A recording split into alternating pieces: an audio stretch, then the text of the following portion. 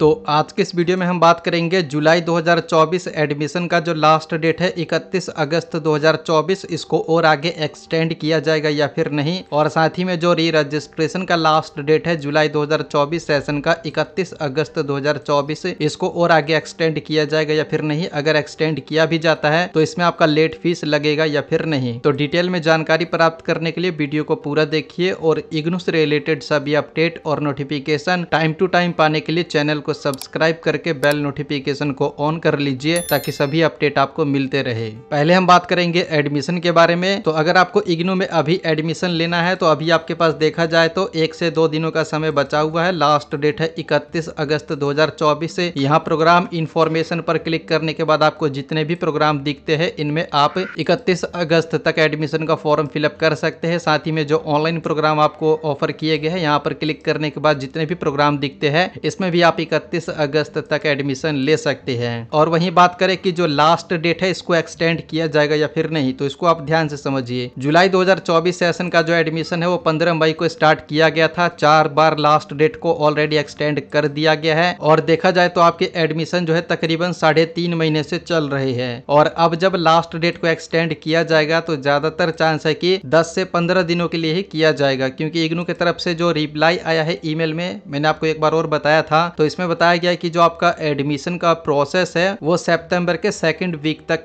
चलने वाला है। तो ऐसे में चांस बन जाता है कि जो लास्ट डेट है, इसको एक बार और 10 से 15 दिनों के लिए एक्सटेंड किया जाएगा। लेकिन जब लास्ट डेट एक्सटेंड होगा तो इसमें यह है कि जो आपका सेमेस्टर बेस्ड प्रोग्राम है, जैसे कि B C M C M B A और जो छह महीने के सर्टिफिकेट के कोर्स है, इनका एडमिशन बंद किया जा सकता है। बाकी जो ईयरली बेस्ड प्रोग्राम है बैचलर डिग्री के मास्टर डिग्री के डिप्लोमा के, इनका एडमिशन का लास्ट डेट दस से पंद्रह दिनों के लिए एक्सटेंड किया जा सकता है। तो आप कोशिश कीजिए कि अगर आपको किसी भी प्रोग्राम में एडमिशन लेना है तो आप इकतीस अगस्त तक एडमिशन ले लेंगे तो आपके लिए अच्छा रहेगा। बाकी आप एडमिशन का फॉर्म वगैरह कैसे फिलअप कर सकते हैं तो उसके लिए एक वीडियो का लिंक मैंने नीचे दे रखा है, उसको आप देख करके इग्नू में ऑनलाइन डायरेक्ट एडमिशन ले सकते हैं। और अब बात करते हैं इग्नू के जो पुराने स्टूडेंट है, उनके बारे में। तो जुलाई 2024 सेशन री रजिस्ट्रेशन का भी लास्ट डेट है, इकतीस अगस्त। और इसमें भी देखा जाए तो जो आपका री रजिस्ट्रेशन है, वो फ़र्स्ट मई को स्टार्ट हो गया था। इसमें भी लास्ट डेट चार बार एक्सटेंड किया जा चुका है और इसमें चार महीने से जो आपके री रजिस्ट्रेशन है, वो स्टार्ट हो रखी है। और इसमें भी चांस है कि जो लास्ट डेट है, इसको एक बार और एक्सटेंड किया जा सकता है दस से पंद्रह दिनों के लिए, लेकिन इसमें आपका लेट फ़ीस पाँच या फिर दो